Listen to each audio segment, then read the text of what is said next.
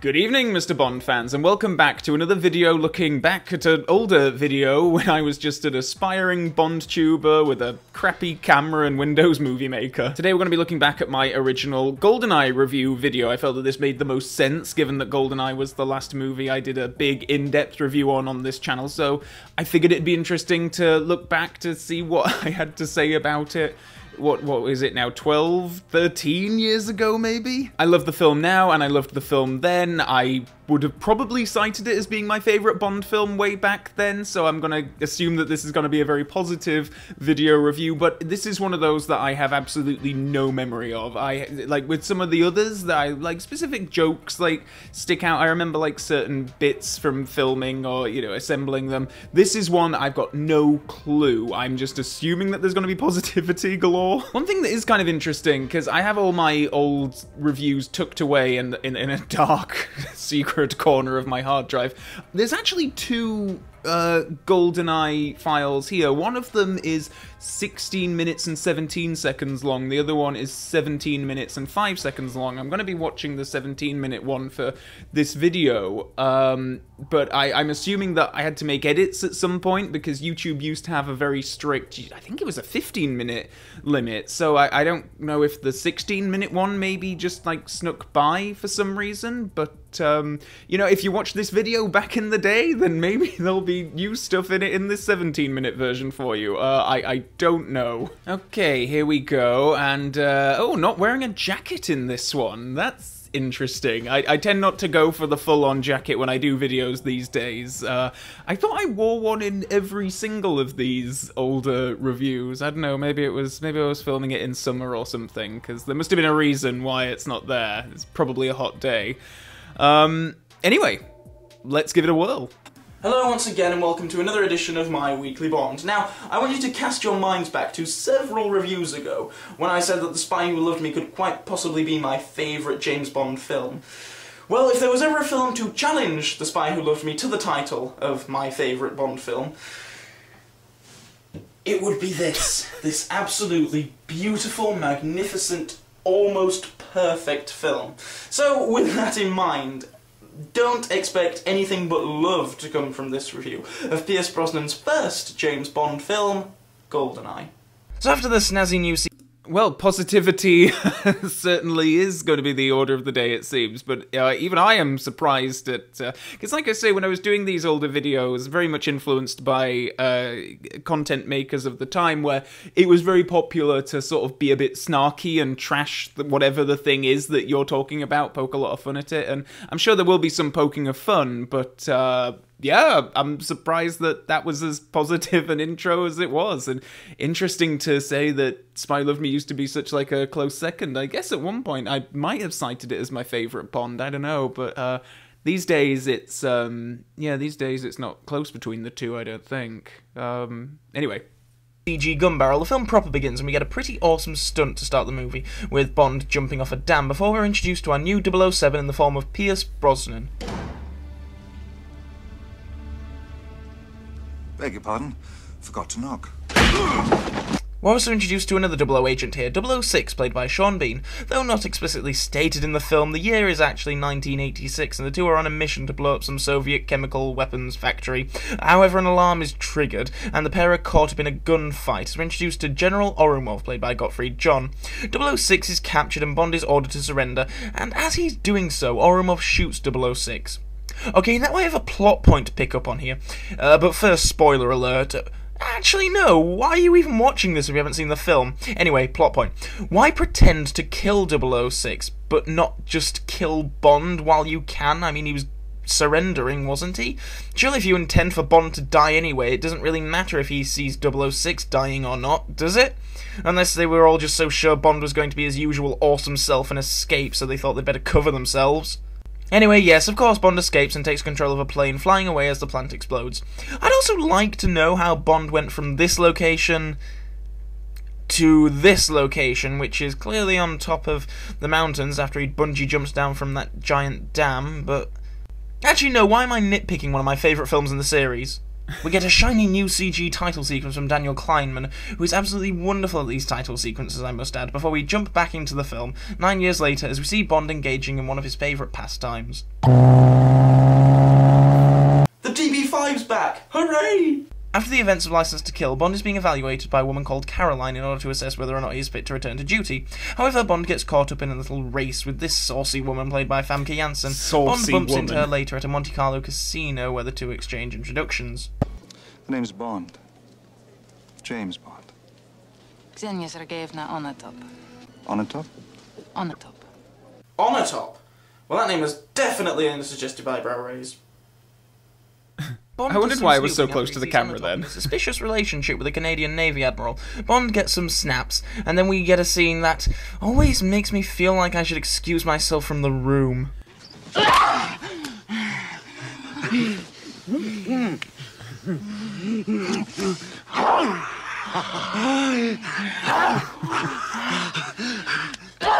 True reaction. That, that is often how I feel when I'm watching this sequence, even when I'm alone.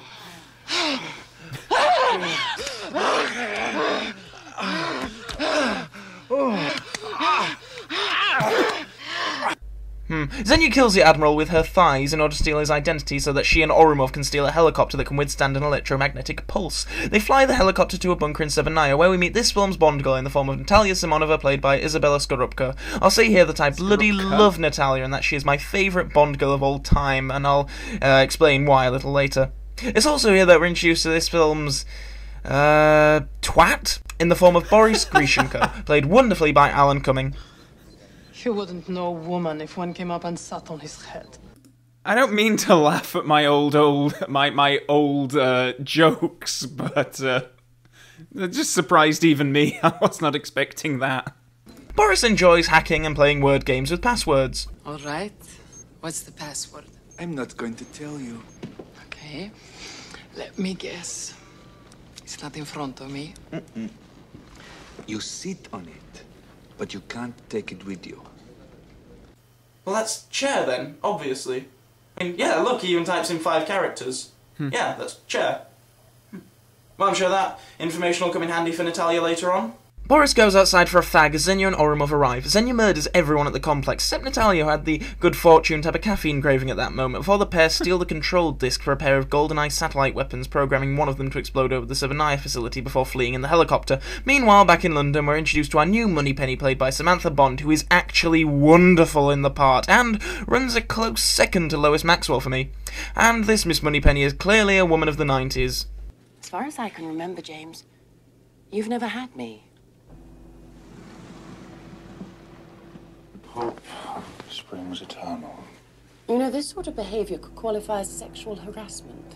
Finally! Thank God someone finally blurted it out! Oh my god, it took 17 films for one woman to come forward with that. Oh, nice one, Moneypenny. it's also here that we're introduced to a new, and so far best, Bill Tainer in the form of Michael Kitchen, who brings an astonishing amount of personality to a really small role. Tainer. I used to pronounce Bill Tanner's name as Bill Tainer for some reason, which completely goes against my northern accent, where I would have thought that I would go for, you know, Tanner with the, the A sound uh, over Tainer. Um, I think it's because I misheard there's a bit in The World Is Not Enough where Brosnan calls, like, Tanner um, over, uh, and he says, sort of like, Tanner. And for some reason, I always heard that as Tainer and it, I, I don't know why it stuck with me like that, but it was only like when I was making these videos and then people were commenting like, Calvin, you know you're pronouncing that name wrong, that I was like, looked into it a bit more. And our new M, played by Judi Dench. Seems your hunch was right, 007. It's too bad the evil Queen of Numbers wouldn't let you play it.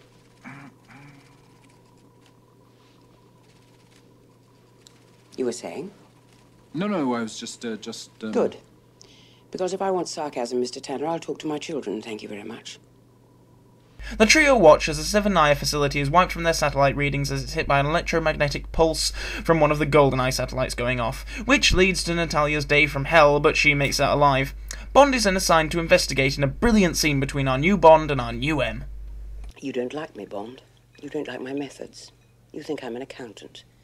No wonder I had to cut down the thing for um, YouTube running length. These clips run for a bit long. I think you're a sexist, misogynist dinosaur.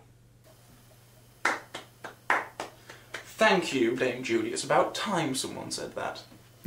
we get a scene of Ourumov learning of the Severnaya survivor, and then we get a good old-fashioned Q scene with Desmond Llewellyn returning once again. Morning, Q. Sorry about the leg. Skiing? Hunting. First, your new car. BMW. Agile five forward gears. Good lord, yeah, really points, letting the clips radar. run. Self-destruct system, and naturally, all the usual refinements. Now, I'm gonna make the same joke about the Stinger missiles. I feel like it's coming. God, that's a lovely car. Gadget laden too. I bet we're in for an awesome vehicle chase sequence later on in the film. Just you wait. So, with all his gadgets in tow, Bond heads to St. Petersburg to meet CIA agent Jack Wade, played by Joe Don Baker, who played a villain in The Living Daylights, but he's much better suited to this kind of character. Hey, Bond. You do any gardening? Gardening? Huh? What? Meanwhile, Natalia manages to contact Boris and arranges to meet him in St. Petersburg, but of course he betrays her. And, uh, uh, meanwhile, again, Bond meets with Valentin Zukovsky, a Russian mafia head played by Robbie Coltrane. Bond has a talk with Zukovsky and learns more about the crime syndicate known as Janus, who Xenia Onatop is suspected to be a member of. Zukovsky arranges for Bond a meeting with Janus, who gets Xenia to drive him there after fighting her off in a spa. It's here we're introduced to our main villain in the form of da da da Alec Trevelyan. Turns out he faked his death and is after revenge on the British government because he's a descendant of two Lienz Cossacks who were betrayed by the British government, which would probably make him old, but uh, never mind. Bond is I must have had a cold or something when I was recording this because I could just keep hearing sniffles. tranquilized just before he can shoot Alec and wakes up in the stolen helicopter with a screaming Natalia.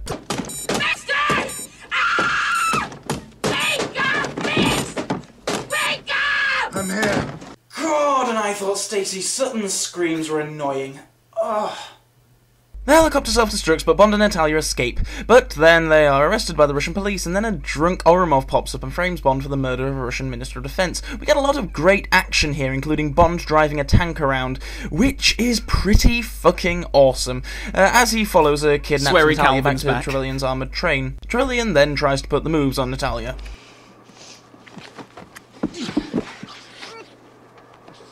Taking a leaf out of Bond's book, eh, Trevelyan? Kiss the girl until she likes it. That's a throwback to a joke I made in the Thunderball review. Anyway, in summary, Bond halts the train with the tank, Ourumov is killed, Trevelyan and Xenia escape, and the train is set to blow up while Natalia tries to find out where the bad guys are heading by hacking Boris's password.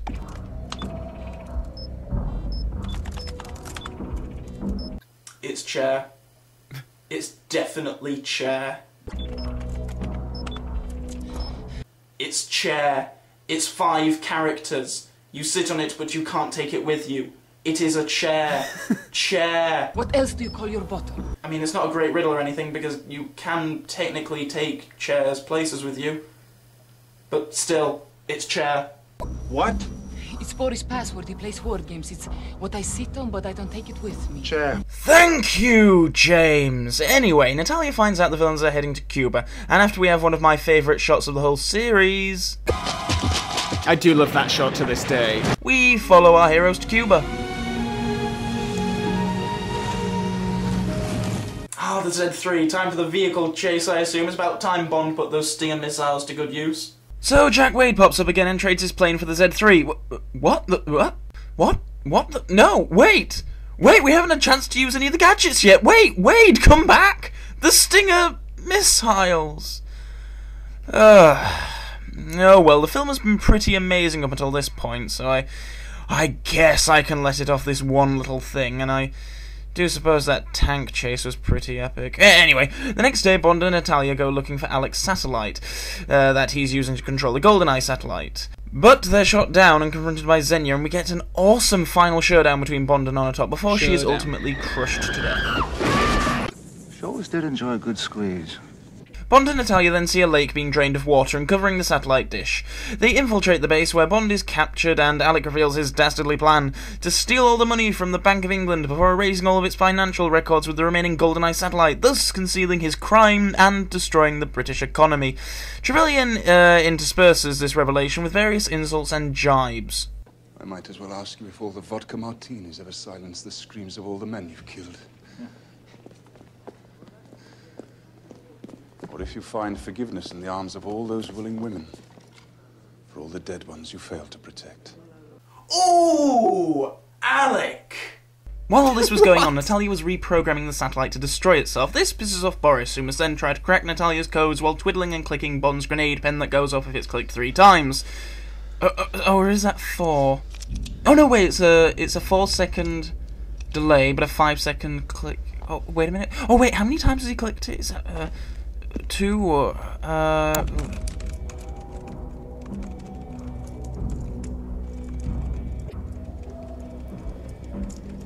Just letting this play. Okay, that's two. Um. Oh no, wait. Was that another one? Uh. Oh. Uh. That's well. That's five seconds. No. No. Wait. How many seconds was that? Was it? No. No. No. Oh. Uh. Three clicks. Uh, oh, oh no! How many how many clicks have been? It's been I'm really dragging this out for some reason. gone by. Uh, oh my god, this is so confusing. Give me the cards, Natalia! Give them to me!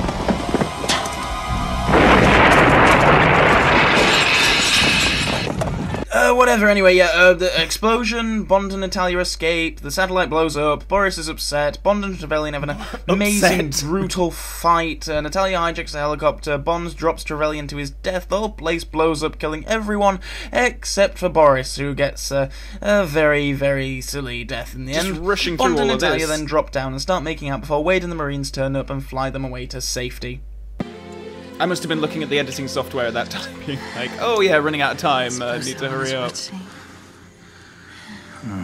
no one within 25 miles, believe me. Baby. Okay, I know I shouldn't be really hung up on this, but that one line sticks out so much to me. So I talked about this in my in-depth review as well. I think did I? I, I definitely talked about it recently. It might have well have been with a video uh, that I did with David where we talked about Goldeneye.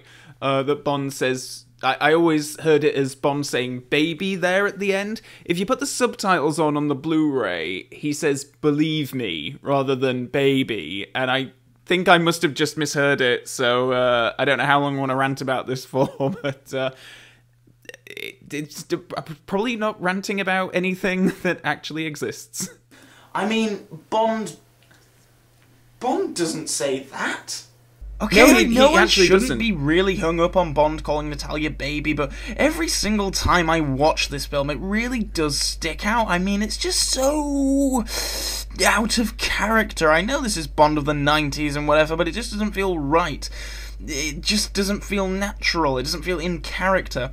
Oh, yeah, by the way, um, that's the film over with. Uh, don't stick around for the end credits, whatever you do, because there's an incredibly shit and ear rapey song that plays over the end of this perfectly magnificent film. Ear rapey. Wow. God. Okay, I know I fawned and gushed over Goldfinger and Spyro Love Me, but GoldenEye. GoldenEye is probably my favourite James Bond film, and to be honest, I'd probably put it in my top 10 films of all time ranking. It's just so damn good. Dalton's films, though enjoyable, just felt like a bit of a hangover from the Roger Moore period. They felt a bit tired, a bit lackluster, but GoldenEye is definitely where the series found itself again. Firstly, Pierce Brosnan is absolutely terrific, and I know he's gone on to be something of a controversial figure amongst Bond fans, but I honestly just love the guy as Bond, and That's really interesting, actually, because I've talked about this recently. Uh, the whole idea of a Brosnaissance of Pierce Brosnan's Bond being reevaluated um, and, and praised in a similar way to what Timothy Dalton um, had received recently. I always thought of the uh, the Pierce Brosnan bashing as being a bit more of a recent thing, I guess. But whenever this video was made, like I guess 2011, yeah, 2011. Um, God, it must have already been. I guess we were still within ti 10 years of Die Another Day, and that film was getting bashed online quite a lot around that time. So, um, wow, yeah, we are well overdue a Brosnaissance, I feel. You know what? I think he's the best James Bond. Of course, I still love Roger Moore. Roger Moore is my favourite James Bond, but I think Pierce Brosnan is the best James Bond. I think he embodies everything about the cinematic Bond. I, I, I just think he's terrific. He he combines everything that was so good about the previous Bonds and adds in his own sort of personality into the mix. It just makes him very likable and compelling. I really believe by a lot that of this this. guy is James Bond up on screen. I can't praise the supporting cast enough either, actually. Izabella Scorupco as Natalia is easily my favourite Bond girl. She's the most beautiful, she's smart, she's relevant, she's played brilliantly. I could go on forever. I fucking love Natalia. One of the main reasons why I love this film so much is that it has quite possibly one of the best ensembles of villains from any film ever. Indeed, I don't think there's really a weak link in the main bunch. Sean Bean as Alec is terrific. Famke Janssen as Xenia makes for one of my favourite villains of the whole series. Alan Cumming is a laugh as Boris, and Gottfried John as Ourumov is one of the most compelling and underrated performances in a James Bond film. Honestly, he's so overlooked.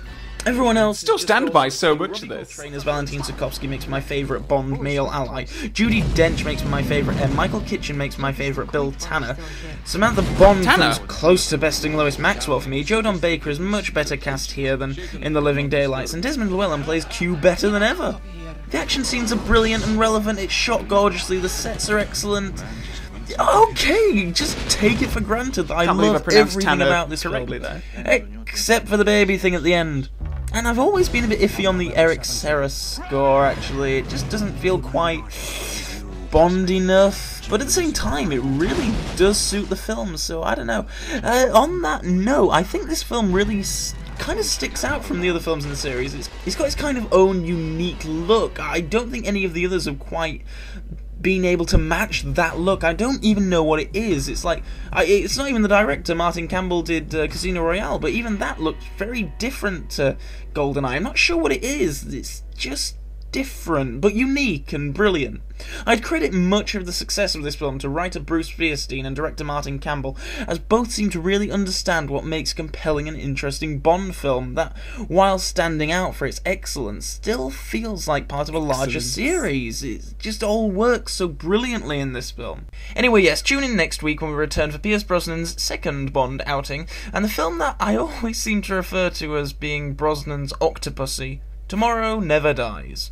Well, as expected, that was incredibly positive. Uh, I think this might well be, other than uh, License to Kill, one of the more uh, later on in the run of these original reviews of the films. Uh, so I'm kind of like, oh, that that one actually, like, I, I didn't notice as many awkward pauses or weird uh, editing choices. I felt like at that point it was like, okay, that that held up as a video of its time. I, I I feel somewhat. Correct me if I'm wrong. If it was excruciating for you, please do let me know in the comments.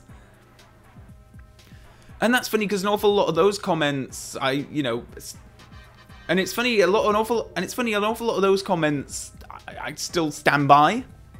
And it's funny, an awful lot of those comments I still kind of stand by. I think you can hear me say very similar things to some of that in the bigger in-depth video that I made recently. So it's uh, it's kind of interesting as time passes, and yeah, I'm still kind of uh, you know holding up some of the similar things that I love so much about it. And Gottfried John, you know, just those little things. It's um yeah, it's interesting. I think this is the one that has felt most similar to the updated review that I've done. Uh, a lot of comments in that I felt like, oh wow, I could have just copied and pasted that and put it in the new in-depth video, and it would have still, it would have still been my opinion. You know, praising Gottfried John and uh, you know the lack of Stinger missiles. I was interested at the end there that I was relatively positive, really, on the Eric Serra score because I definitely I talked about this in my in-depth review where I kind of went through a bit of like I used to quite like it and then sort of um, went off it quite a lot after getting involved with some of the forums and stuff and hearing a lot of negativity about it and that kind of became my opinion but now I'm just kind of like through that and just back to my original kind of like actually I kind of like it really uh, for the film. Um, so yeah, I was interested that I didn't dog on that so much. There's still a fair bit of swearing in that, and a fair bit of provocative uh, commentary, I will say, uh, particularly regarding some of the gender politics. But um, yeah, I was surprised that I didn't poke fun more of it. Uh, that was a largely incredibly positive. I think that might be the most overwhelmingly positive of these older reviews that I've looked back on so far. So it was interesting. But like I say, I didn't think that that was that bad. Uh, or maybe I'm just becoming too acclimatized to my older self now that I'm beyond the point of cringing. Let me know your thoughts on this one in the comment section below. And also below you can click the subscribe and the Mrs. Bell notification button. Stay super up to date on future video uploads that I make on this channel. You can also uh, like this video if you care to do so and follow me on my various other social media pages, links to which are all below, so please do follow me there if you're so inclined. And with all that being said, and until next time, Bond fans, so long for now.